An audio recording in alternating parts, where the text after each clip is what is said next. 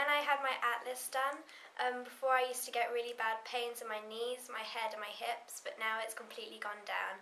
Only when I'm walking like miles I get pains again.